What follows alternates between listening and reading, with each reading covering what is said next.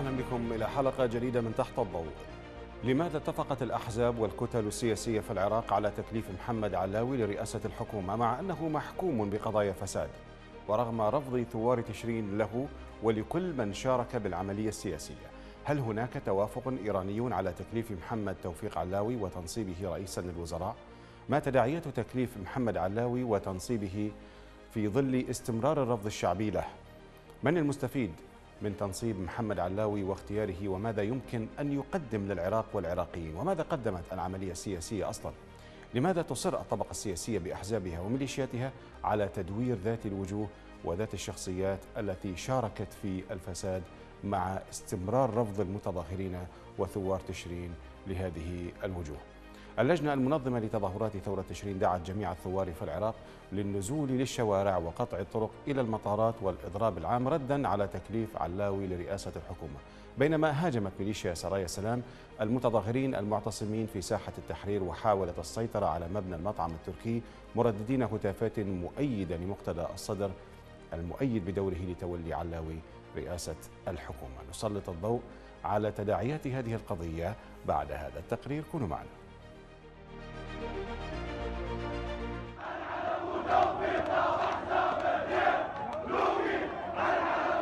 هكذا كان رد الثوار في ساحات التظاهرات على تكليف محمد علاوي برئاسة الحكومة؟ هتافات بأصوات عالية رافضة لأي مرشح من الطبقة السياسية الفاسدة التي حكمت العراق وجلبت له الدمار منذ عام 2003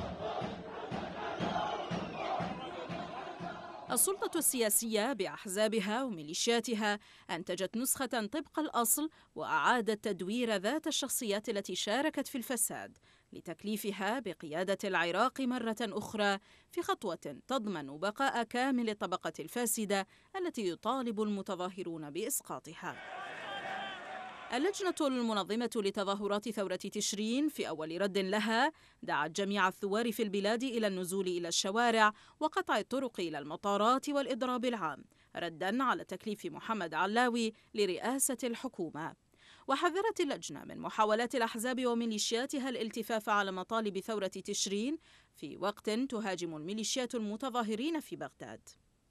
بعد رفض تكليف محمد علاوي من قبل جميع ساحات التظاهرات هاجمت ميليشيا السرايا التابعة لمقتدى الصدر المعتصمين في ساحة التحرير وسط بغداد. وحاولت السيطرة على بناية المطعم التركي الذي يعد أيقونة من أيقونات ثورة تشرين مرددين هتافات مؤيدة لبيان الصدر المؤيد لتولي علاوي رئاسة الحكومة. الاعتداءات على الثوار في ساحة التحرير دعتهم إلى الإعلان عن تفويض ثوار ساحة الحبوب بمحافظة ذي قار. لتكون الساحة هناك هي مركز الثورة في البلاد ومصدر قرارها. وذلك بعدما حدث من اعتداءات وتهديدات نفذتها ميليشيا السرايا ضد معتصمي ساحة التحرير. وفي خضم تلك الأحداث أكدت منظمة هيومن رايتس ووتش أن من أحرق خيم المعتصمين في بغداد والمحافظات هي القوات الحكومية وميليشيات الأحزاب السياسية ولا وجود لطرف ثالث. كذلك جددت السفارة الأمريكية في بغداد مطالبتها السلطات الحكومية بوقف الانتهاكات التي ترتكبها ميليشيات الأحزاب الفاسدة بحق المتظاهرين السلميين المطالبين بإسقاط العملية السياسية. وفي ذات السياق أكدت الممثلة الأممية في العراق جينين بلاسهارت رفضها للقمع الحكومي لتظاهرات ثورة تشرين على يد القوات الحكومية وميليشياتها وذلك خلال لقائها وفدا من الناشطين في تظاهرات ذي قار. تكليف محمد توفيق علاوي برئاسة الوزراء والذي وصفه النائب فائق الشيخ علي بأنه جريمة بحق العراق جاء بعد دخول ثورة تشرين شهرها الخامس. مع استمرار التظاهرات والاعتصامات في جميع المحافظات العراقية المنتفضة وسط تأكيد معتصمي ساحة التحرير وبقية ساحات الاعتصام رفضهم تولي علاوي رئاسة الحكومة أو أي مرشح من الأحزاب السياسية الفاسدة لرئاسة الحكومة المقبلة في البلاد.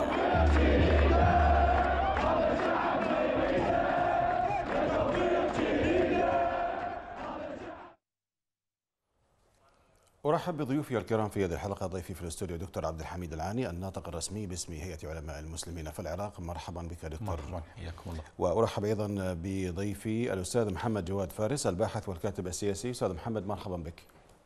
أهلا وسهلا ومرحبا. أهلا بك. وأرحب أيضا بالناشط في التظاهرات من بغداد السيد عبد الله الفراجي. سيد عبد الله مرحبا بك. أهلا بك مرحبا أهلا بكم ضيوفي الكرام. أبدأ معك دكتور عبد الحميد.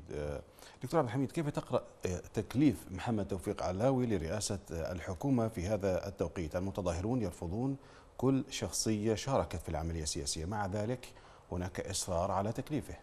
نعم بسم الله الرحمن الرحيم. أحييك والمشاهدين الكرام والأساتذة الضيوف معنا. في هذه الحلقة. يعني منذ البداية قلنا منذ انطلاق الثورة هذه التظاهرات قلنا أن الحكومة هذه وأحزاب أحزاب السلطة تسير بمسارين ربما متوازيين. المسار الأول هو استخدام القوة لقمع هذه الثورة وإعادة الناس إلى بيوتهم والثاني اللي هو قضية الخداع ممارسة الخداع لهؤلاء الناس ولغيرهم. ظنا منهم أنهم بهذه الأساليب ربما ينهون ويقضون على هذه التظاهرات. ما حصل اليوم هو جزء من هذا المسار اللي هو مسار الخداع.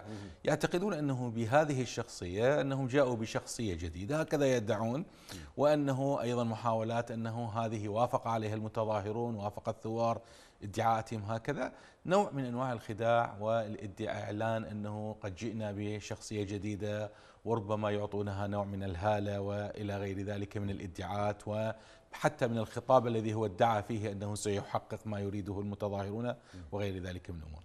هذا الذي حصل اليوم يدلل على أن هذه الأحزاب، أحزاب العملية السياسية هي تفكر في واد بعيد في خندق بعيد عن منطق وخندق ووادي المتظاهرين وادي الثوار وادي الشعب العراقي عموما. الثوار الشعب العراقي خرج ضد العملية السياسية بجملتها ضد هذا الفساد وضد هذه الأطر السياسية التي سمحت لهذه الأحزاب بممارسة هذا هذه الانتهاكات وهذا الفساد ضد أبناء الشعب العراقي.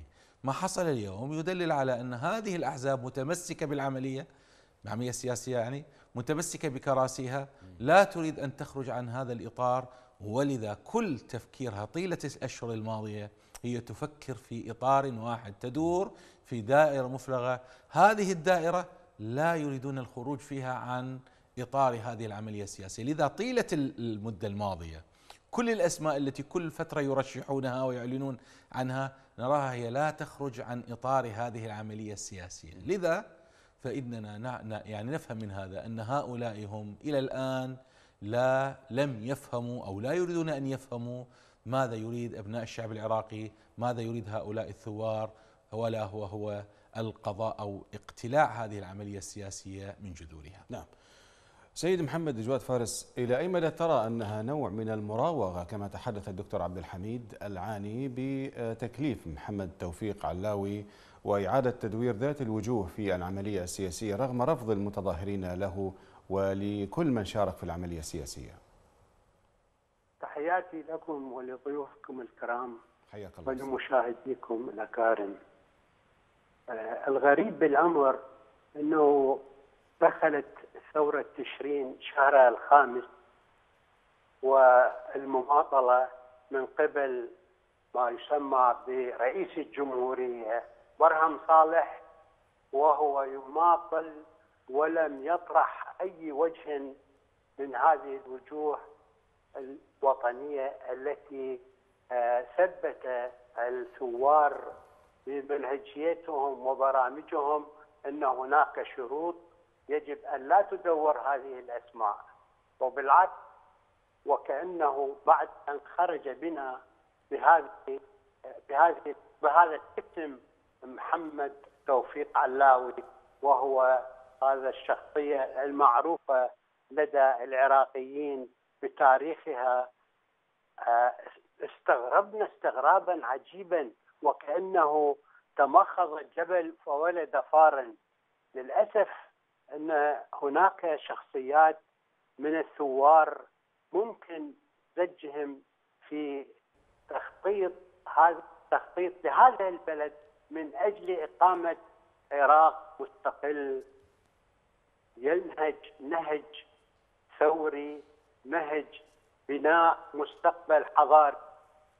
والمعروف أنه السيد محمد توفيق علاوي كما يعرفه العراقيين أنه هو محسوب على حزب الدعوة. وبنفس الوقت أنه شارك في وزارة نور المالي. بعد أن فصل من الوزارة أو طرد من الوزارة كما يقول سيد نور المالكي إنه قدم إلى المحكمة واتخذ قرار آه، غيابي عليه في حكمه سبع سنوات. فهذه الشخصية لا يمكن قبولها من قبل ثوار تشرين ابدا لأنه هي العملية بحد ذاتها تعتبر عملية تدوير لشخصيات هي الشخصيات التي آه، اقترحت من قبل مؤتمر أو بالأحرى اجتماع آه، هذا الاجتماع عقد في مدينة قم الإيرانية واتخذ قرار من قبل المجتمعين هناك وهم آه، أسماءهم معروفة لدى كل الشعب العراقي نعم. وبتواجد من مقتدى الصدر طرح هذا الاسم ووافقت عليه هذه الأطراف لكن الثوار رفضوا رفضا قاطعا أن يكون هذا هو رئيسا لوزراء العراق ولا لأن يتحمل مسؤولية ما تبقى من أجل أن تبقى هناك مطالب عادلة ومشروعة وهي إجراء انتخابات فورية بعد انتهاء فترة معينة مداها على الأكثر ستة شهور. هكذا هو المطلوب. وبما أن آه، محمد توفيق علاوي آه، قدم نفسه وكأنه متعاطف مع المطالب باعتقادي أنا أن هذه هي صورة غير صحيحة وإنما وجه مقنع من أجل أن يكسب جماهير الثوار إلى جانبه وهم لا يقتنعون بمثل هذه الشخصية التي لها سوابق معينة وهي محسوبة على نفس الجهة التي ارتكبت الحماقات.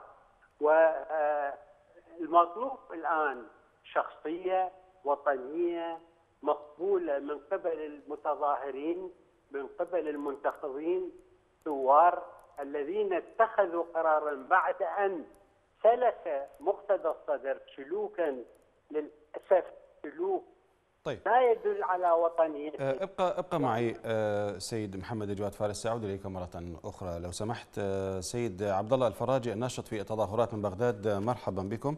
يعني الكثير من الشخصيات الوطنية والكفاءات موجودة ضمن يعني في العراق وخاصة ضمن المتظاهرين أساسا. يعني لماذا يعني أو كيف تقبل تلقى المتظاهرون نبأ تكليف محمد توفيق علاوي وهو عليه أصلا قضايا يعني محكوم آه، بقضايا فساد آه، وأيضا مرفوض من قبل آه، مطالب المتظاهرين. أهلا بك أخي وأهلا بضيوفك الكرام ومشاهديك الأكارم. في البداية المتظاهرون في كل ميادين التظاهرات رفضوا رفضا قاطعا تسلم أي أي مسؤول سابق آه، لهذا المنصب منصب رئيس الوزراء. آه، منذ خروجهم اليوم الأول منذ 1 10 إلى قبل ثلاث أيام هم يرفضون رفضا قاطعا. آه، أي سياسي نعم. يتولى هذا المنصب طبعا مقتدى الصدر قام بهذه الحركة بالاتفاق مع هادي العامري. الاتفاق تم في طهران.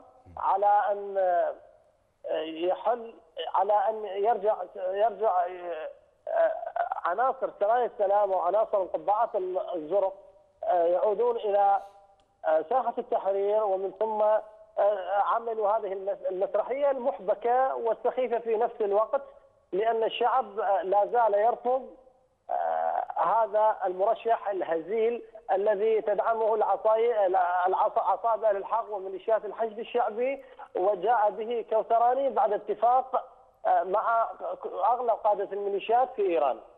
المرشح مرشحهم مرشح الأحزاب المرشح متهم متهم بقضايا فساد وعليه سبع سنوات عقوبة سجن سبع سنوات بتهمة فساد عندما كان وزيرا للاتصالات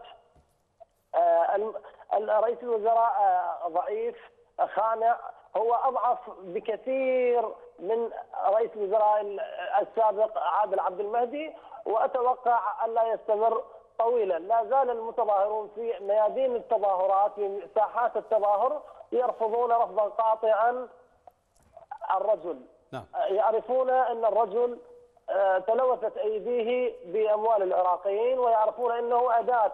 واضح. أداة بيد الأحزاب والميليشيات التي جاءت به والأيام ستكشف كثيرا من هذه الصفقة المخزية. نعم، ابقى معي أستاذ عبد الله الفراجي ناشط التظاهرات، دكتور عبد الحميد العندي بالعودة إليك.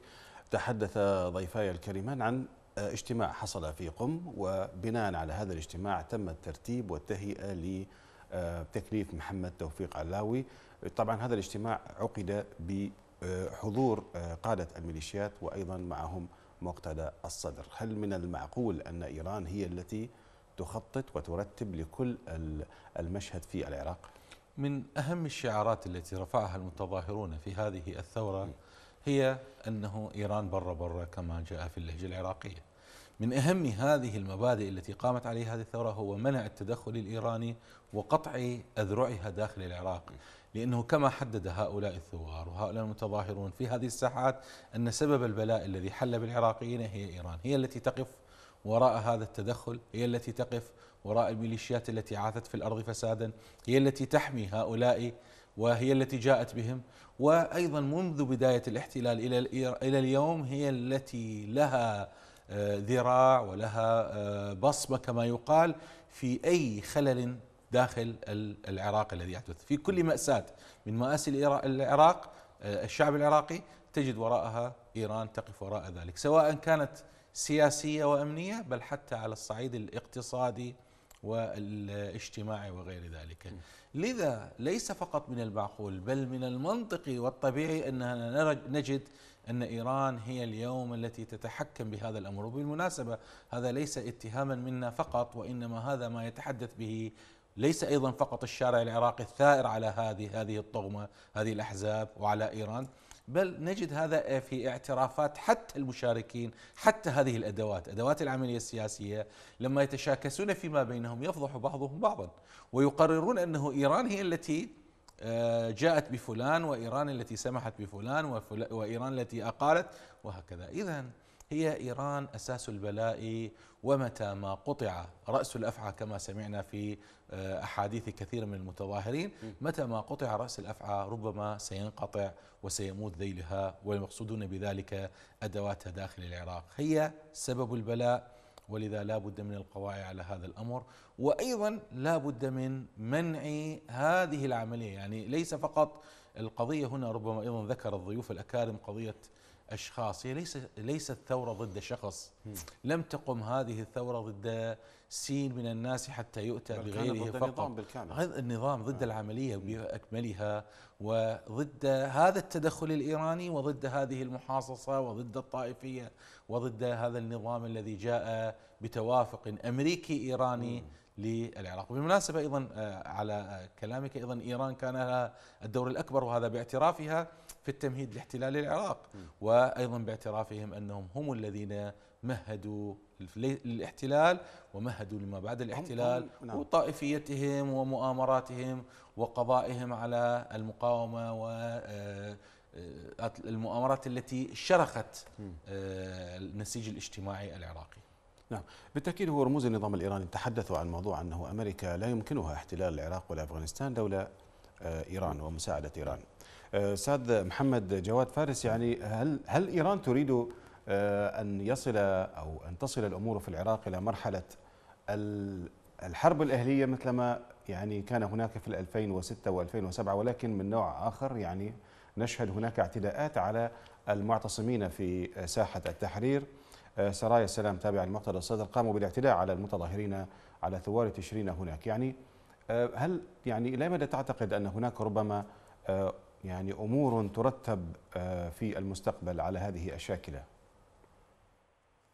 والله الآن واضح من هذا المخطط الذي تم إخراجه في قم وكلف به مقتدى الصدر.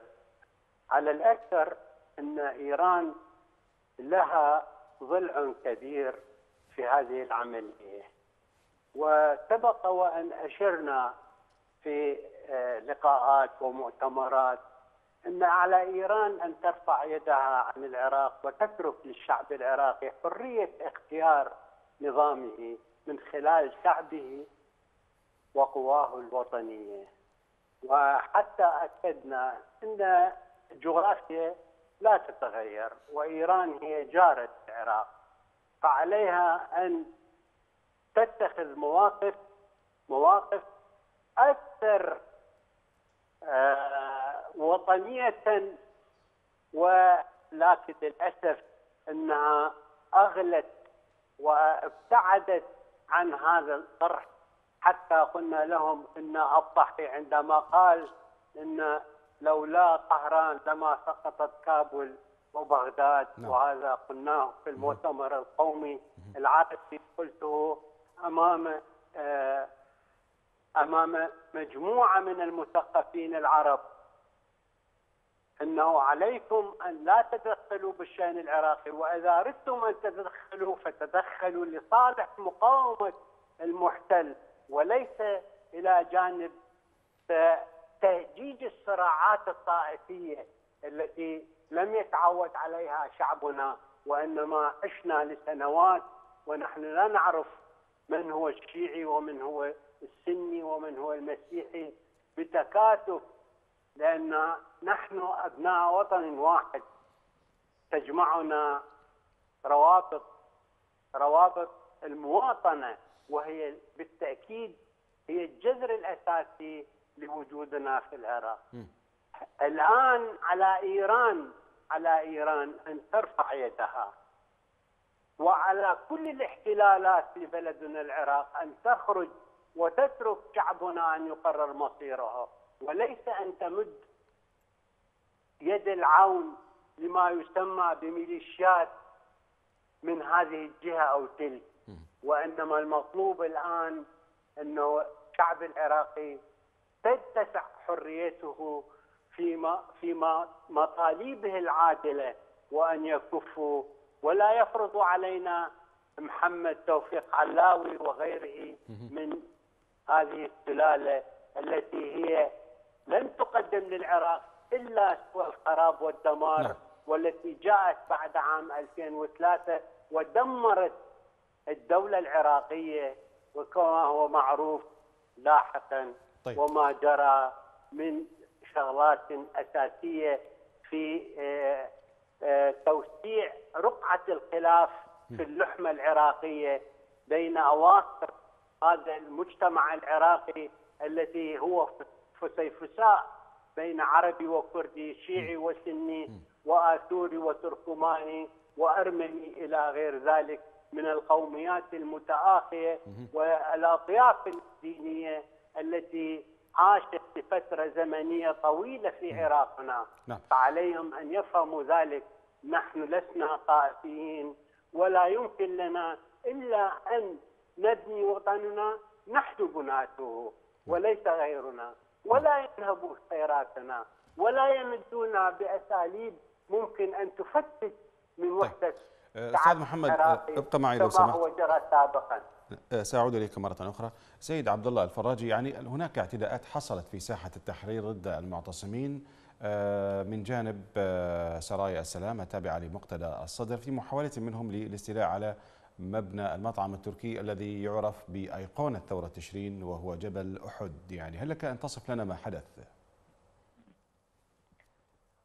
أخي قبل ثلاثة أيام عندما أمر مقتدى الصدر أنصاره بالعودة إلى ساحة التحرير والعودة إلى ساحة التظاهرات ومناصرة المتظاهرين والضغط على الحكومة لتعيين وتنصيب رئيس وزراء بإرادة الشعب تحت إملاءات وشروط المتظاهرين.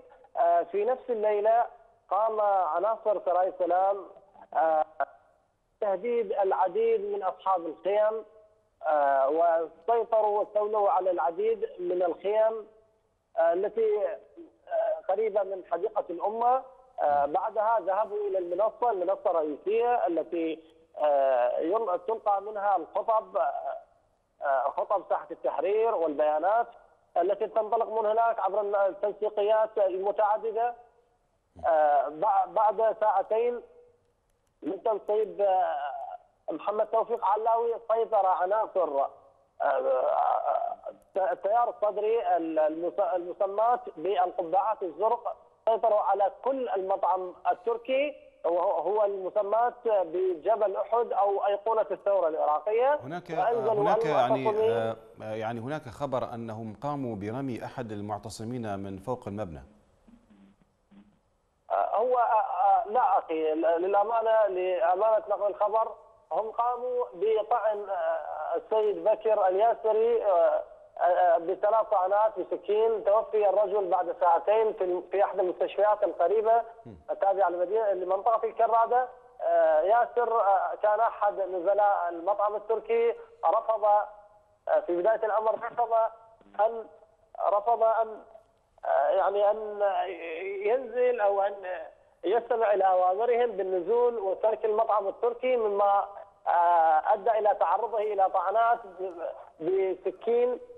على يد أفراد سرايا السلام مما أدى إلى وفاته بعد ساعتين آه، من طعنه. آه، بعد هذه الحادثة نزل كل المتظاهرين من المطعم التركي بينما استولى عناصر التيار الصدري وعناصر القبعات الزرق على المطعم التركي وعلى المنصة وعلى جسر الجمهورية وعلى المناطق المحيطة بحديقة الأمة والعديد من الخيام حاملين معهم الهيراوات والمسمات محليا بالتواسي وحاملين معهم السكاكين وبعض الأسلحة وقاموا بالتجاوز وتهديد الكثير من الناشطين الذين انسحبوا انسحب العديد منهم إلى إلى منطقة قريبة والى خيام قريبة. خوفا على حياتهم ولمن لمنع أي احتكاك بينهم وبين سرايا السلام. آه، إلى حد هذه اللحظة هناك تحرشات وهناك آه، يوم أمس قام آه، قامت عناصر سرايا السلام بمصادرة العديد من الأجهزة الخلوية أو اليدات الخلوية المسمات بالجهاز اللاسلكي ال walkie talkie. وصادروا أيضا الدي جي جهاز السماعة اللاقط الدي جي آه، الذي آه، كان على آه، على يمين وشمال في محاولة للتكتيم على ما يجري نعم نعم, نعم. نعم. أيضا طالبوا يوم أمس طالبوا بتسليم العديد من الخيم المحيطة بنصف بساحة التحرير يوما بعد يوم ترى السلام تحاول إفشال وتفليش وتخريب و آه، قضم الأرض قضم ساحه التحرير شيئا فشيئا لكنهم بالتالي آه، سيفشلون بإذن الله كما فشلوا في الأربعة أشهر الماضية التي طيب. آه، كانت أساليبهم مشابهة لهذه الأساليب. في بابل أيضا قامت عناصر سرايا السلام أو المسمات بالقبعات الزرق الذين ينتمون للتيار الصدري قاموا برمي الإطلاقات النارية على المتظاهرين. في ساحة اعتصام آه، بابل وسط مدينة الحلة مما أدى إلى جرح أربعة أشخاص من المتظاهرين آه، حالة آه، أحدهم حالة حرجة. وفي النجف أيضا هدد بعض عناصر التيار الصدري ساحات ساحة الاعتصام المركزية في النجف بأن يخلي الساحة لعناصر التيار الصدري لمدة وأعطوا مهلة مدة 24 ساعة. إذا هي محاولة تشبيح وإرهاب وخطف للثورة العراقية من من الشباب على نعم. يد نعم. هؤلاء الميليشيات نعم شكرا عبد الله الفراجي يعني محاولات كثيرة للنيل من الثورة التشرين محاولات وأد هذه الثورة عن طريق الرمي بالرصاص الحي وعن طريق مصادرة الهواتف النقالة للتكتيم على ما يجري واستمعت إلى ما تحدث السيد عبد الله الفراجي الناشط في التظاهرات نريد يعني أن نعرف أكثر يعني ماذا يريد مقتدى الصدر وسرايا السلام. في في بادئ الأمر كانوا آه، يقولون إنهم مع التظاهرات ولكن بعد اجتماع طهران آه، حصل ما حصل من هذه الأمور التي نراها حاليا. يعني هذه طبعا بالمناسبة ليست المرة الأولى التي يحاول فيها مقتدى الصدر التلاعب بعواطف الناس واستغلال حتى الشباب من أتباع تياره طبعا بالمناسبة الكثير من أتباع التيار الصدري هم مع الثورة. هم من ربما من الأيام الأولى لأن تضرروا. تضرروا من هذه العملية السياسية. تضرروا من إيران. تضرروا من الوضع السياسي. لم يحصلوا من طيلة السنوات الماضية على شيء. هم بالأساس فقراء. ولذا كان يتلاعب بهم يتلاعب بهم مقتدى الصدر والمقربين منهم آه، زعماء هذا التيار سياسيا يستغلون عواطف الناس ومآسيهم وأصوات هؤلاء لمكاسب سياسية خاصة. ومنذ الأيام الأولى كما قلت ليست المظاهرات الأولى التي يركب فيها الموجة ويستغل هؤلاء الناس ثم يحاول أن يجير هذه التظاهرات وهذا الغضب الشعبي يسيره أو يجيره لصالحه في مكاسب سياسية. نحن نرى منذ العملية السياسية منذ أن دخل هو بشكل رسمي في هذه العملية السياسية وبشكل معلن هو يحاول أنه في كل مرة يحسن مواقعه ويستولي على هذه الوزارة ويزيد من مواقعه هنا وهنالك. وباقية أبناء الشعب العراقي حتى أتباعه أتباع التيار الصدري لم ينتفعوا من وراء آه، شعاراته وحتى أتباعه أو آه، يعني المناصب التابعة له لم ينتفعوا شيئا. حتى المناطق السكانية التي يمثلها هؤلاء داخل هذه العملية السياسية لم تتحسن. طيب على سبيل الناحية الاقتصادية يعني والاجتماعية آه، بطبيعة الحال هناك شيء أنا أقنع به الناس لكي ينفذوا ما أريد. ولكن ماذا يقدم مثلا مقتدى الصدر؟ العملية السياسية فيه هو مشارك ب 54 نائب في البرلمان تابعين للتيار الصدري. بالضبط. ست وزارات تابعة أيضا للتيار الصدري. يعني نستطيع القول أن 50% ربما أو, يعني أو أقل أو نعم. أكثر المهم. يعني ما الذي آه، يجعلهم يقتنعون؟ ها فينفذوا ما يريد منهم مقتدى الصدر. سياسيو التيار الصدري يعني نفرق بين السياسيين وبين الشعب بغض النظر عن كل الانتماءات الأخرى. سياسي هذا التيار لا يختلفون عن بقية السياسيين الآخرين وهو التلاعب بمشاعر الناس وبيع للناس فقط شعارات وإعلام كاذب. أما عمليا لم يقدموا لهم إلا أي شيء فقط تحسين مواقعهم وحصد الأموال ونهب الأموال والفساد لصالح هؤلاء وجيوبهم الخاصة. والناس ترى يعني تشاهد وترى تعرف أن هذا زيد من الناس فلان من الناس كان قبل أشهر معدودة لما كان خارج هذه العملية كيف كان فقيرا وكما يعبر عنه في اللهجة العراقي حافي. من أين لك واليوم بين آه. ليلة وضحاها وإذا به لا يسكن فقط القصور وإنما آه، ملايين بل النهب في العراق يعني تجاوز الأرقام كما يسمى أرقام فلكية. يعني نهب والمصيبة أيضا هؤلاء لا يتسترون على نهبهم وإنما يجاهرون. يجاهرون ولماذا؟ لأنهم يستخفون بالناس.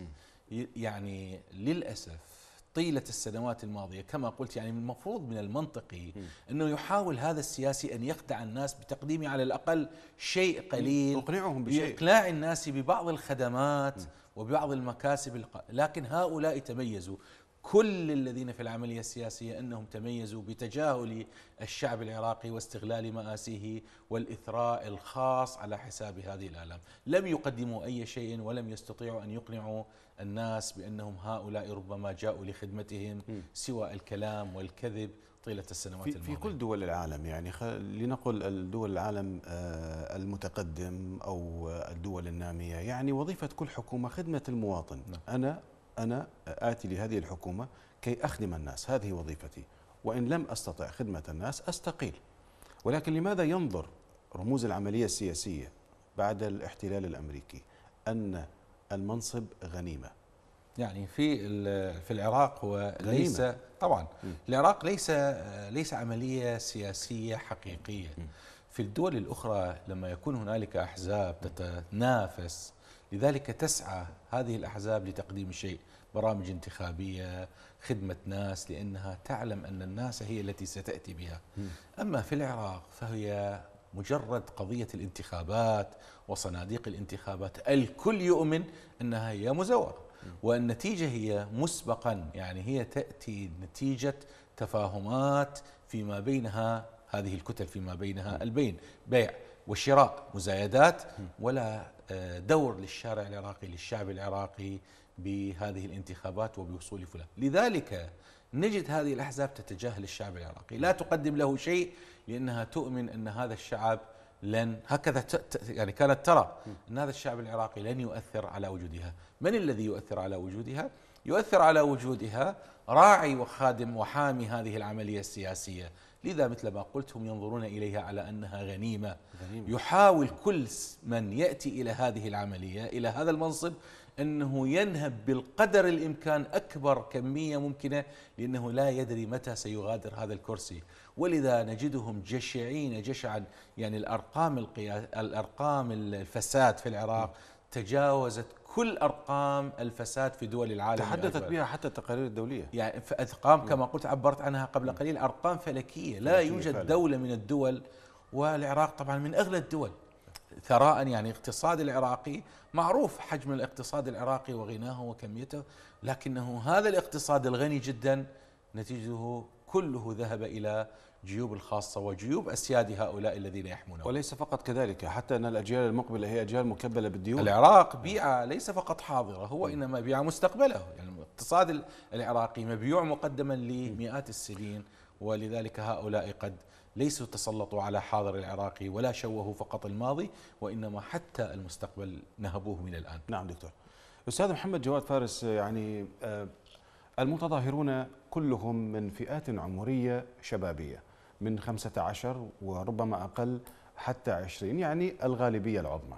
كلهم أدركوا بأن هؤلاء الذين يحكمونهم هم يعتبرون هذا المنصب غنيمة يعني للإثراء والاستحصال المكاسب والأموال وبالتالي هم خرجوا كمتظاهرين آه، فقراء بسطاء يطالبون بوطن يطالبون بكرامة يريدون أن يعيشون كما يعيش العالم خصوصا أن بلدهم بلد نفطي فيه من النفط وفيه من الميزانية ما تكفي لخمس دول عربية مجتمعة. ولكن آه، العصابات أو المتحكمون الآن هل بسهولة سيتخلون عن هذه المكاسب بعدما جاءوا فقراء لا يمتلكون إلا ملابسهم؟ بالتأكيد لا. ولذلك هم متمسكين بهذا السلطة. حتى يكون مهيمنين على القرار وينهبوا من ثروة العراق أكثر ما يستطيعوا. ولذلك المعروف عن العراق كما قال الأستاذ عبد الحميد أنه العراق اقتصاد ريعي واقتصاد النفط والمبالغ التي تدر على العراق مبالغ هائلة. ممكن أن تبني العراق وليس أن تجد مدرسة لا يوجد فيها رحل للطلاب ولا حتى ممشى مسار من أجل أن يصل الطالب إلى مدرسته وإنما خاصة في آه، موسم الأمطار والوحل والى اخره إنه الطلاب لا يستطيعون. وأنا أتذكر حتى أجيالنا السابقه كانت تعرف من خلال وجودنا في المدارس أيام العهد البائد أيام العهد الملكي كان آه، آه، يكرمون الطالب بوجبة غذاء بملابس باحترام باهتمام تعليمي عالي.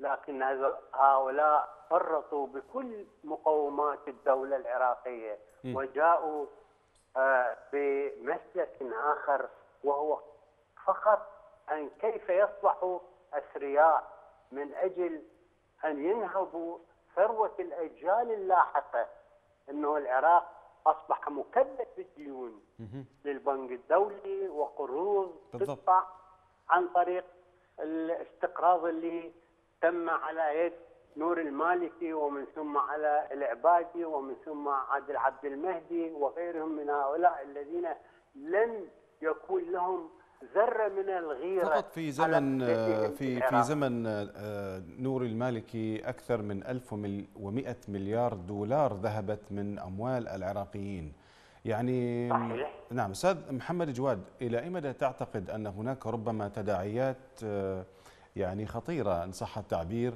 لهذا الإصرار من قبل المتظاهرين على إسقاط هؤلاء وهم بالتالي المتحكمون لديهم من المال ولديهم من السلاح. أنا باعتقادي أنه الثوار عاهدوا الشهداء من أجل البقاء في ساحات التحرير وخاصة قبل فترة قصيرة أسمع من أحد المناضلين اللي موجودين في ساحة ذي قار والذي أكن له كل الاحترام والتقدير أن هذه الساحة سميت بساحة الحبوبي تذكيرا للأجيال اللاحقة أنه الحبوبي لعب دور مع الضاد ومع شعلان أبو الجون في ثورة العشرين. هذه الساحة لها أهمية تاريخية ولذلك هذا الكتاب اللي هو دكتور علاء الركابي قرروا أنه آه، تأسيس برنامج عمل وطني سياسي يتحصن به شخصيات من المثقفين الواعين من أجل دعم هذه المطالب والسير قدما. وباعتقادي إنه الثورة ستستمر حتى النصر النهائي. نعم. ولا يمكن حتى ما ما جرى ويجري الآن من قبل ما يسمى بسرايا السلام والقبعات الزرق إنهم يريدون أن يجهضوا هذه الثورة.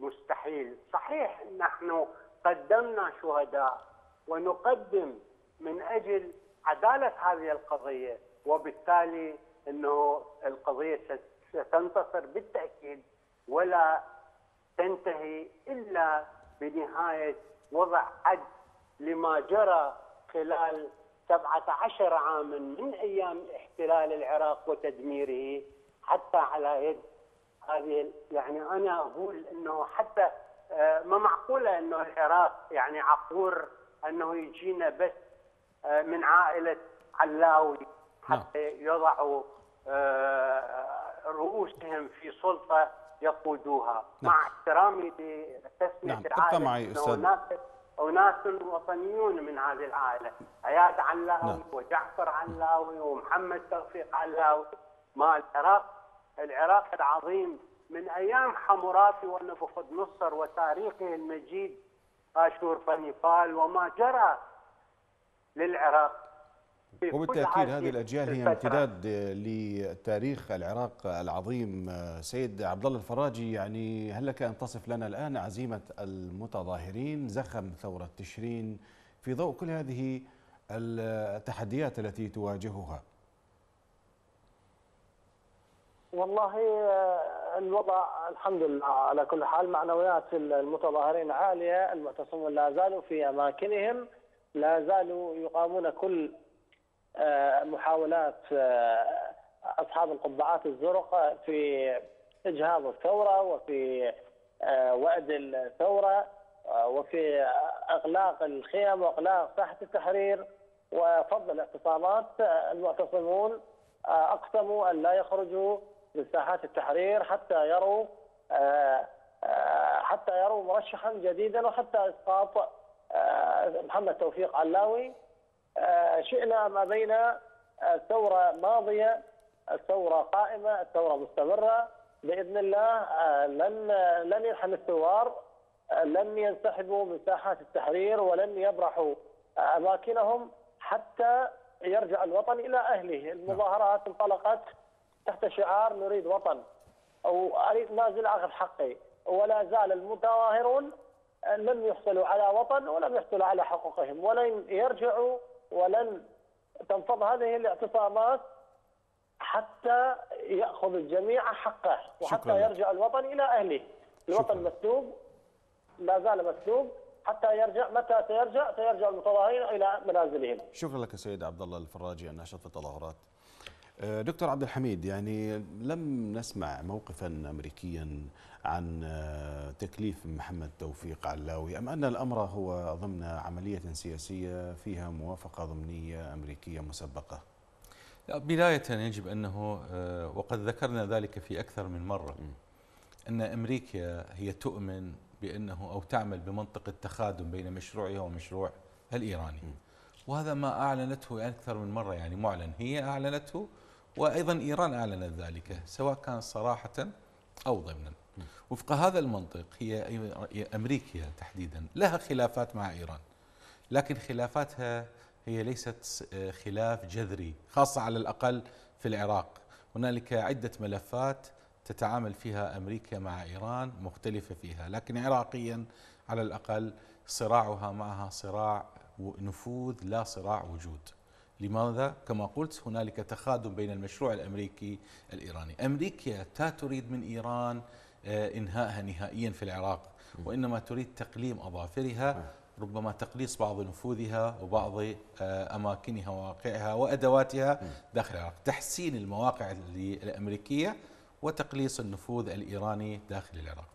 هذا الذي جرى اليوم خاصة قضية علاوي وغيره إلى الآن لم يصدر شيء لأنه أولا هو لا يزال هذا يتبع إلى إيران هذا الرجل. يعني محمد توفيق علاوي توافق الأحزاب الإيرانية بشكل عام يعني وكما ذكر الأساتذة قبل قليل أنه الاتفاق جاء بتوجيهات إيرانية وربما بقرار إيراني بالتحديد بشكل عام. هذا الأمر. الأمر الآخر أنه إلى الآن هي لم ترى أو تريد أنه تنظر ما هي وجهة أو ردة الفعل الحقيقي للشارع العراقي؟ لأنه إلى الآن كلف ولكنه إلى الآن لم يستقر الأمر لا يزال يعني كانوا يظنون ويراهنون على أنه سيحدث حالة إحباط لدى الشارع العراقي. وكانوا يعولون على أنه مقتدى الصدر وتياره يعني حزب السياسيه أقصد نعم. ليس أتباعه من الشعب. سياسي سيستطيعون الاستيلاء على هذه الثورة وركوب موجها وإجهاضها وسيكون هنالك حالة إحباط. لكن اللي حصل اليوم حقيقة حالة مفرحة وهذه حالة إيجابية أن الشعب العراقي خاصة ساحات التظاهر قد كشفت هذا الوجه الذي أكثر من مرة يخدعهم تحديدا مقتدى الصدر وسياسيه. وهذا الخداع الذي انكشف هنا أعطى لهؤلاء الشباب ربما قوة معنوية وإصرار على المضي في طريقهم والاستمرار في هذا الأمر حتى تتحقق آه، آه، أهدافهم ومطالبهم. هذا ربما كان فيه عامل إيجابي فيه تصفية للصفوف تنقية صفوف هذه التظاهرات وربما أنه لن يبقى ويثبت في هذه الساحات كما هو إلا الشارع المطالبين بالحق. كما هو يعني من خلال المعطيات أن أمريكا تنظر إلى تظاهرات ثورة تشرين في العراق من زاوية النفوذ الإيراني والمناوشات الأمريكية الإيرانية والدليل على ذلك يعني ما تصرحه آه، سفارتها أو ما تصرحه واشنطن بهذا الشأن. السؤال هنا يعني كيف يمكن يعني وأنت ترى آه، ما يجري في التظاهرات؟ هناك خطوط حمراء قد آه، تم التجاوز عليها من قبل هم يسمونها خطوط حمراء. نعم. يعني مثلا شخصيات دينية معينة شخصيات سياسية معينة هو خط أحمر فلان خط أحمر. خلاص هذه الصور مزقت ووضع عليها علامة كروز. الآن يعني هل ترى أن هناك مستجدات ربما أمريكية آه، في هذا الإطار ممكن أن تدخل في خط المناوشات الأمريكية الإيرانية؟ يعني يعني نحن نحن ننظر فقط إلى ما يهمنا وهو المتظاهرون نعم. السلميون. بالضبط.